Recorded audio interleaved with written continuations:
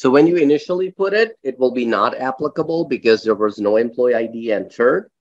But after you enter an employee ID, it will then display. Now, there is an improvement that you can make to this process, and the improvement is this.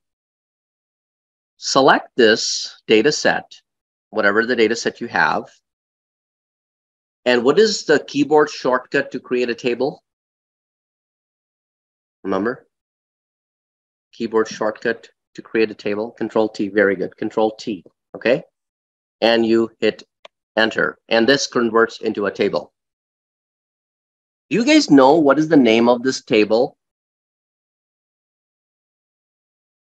Okay, very good. So it's your first tables. you see table one. For me, I created several tables, so this is table seven for me, right? And where can you see the table name?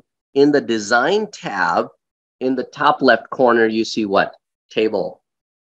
Now, where it says table one or whatever, you can change the table names too. So for example, I want my table to be called EMP data. So I did, I can type EMP data and hit enter. And now that becomes the name of my table. You can, you can change the table name to whatever name you want. Done?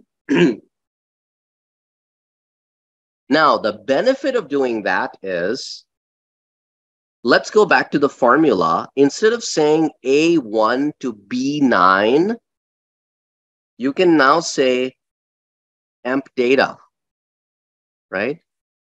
Oops. Emp data. That's the name of your table.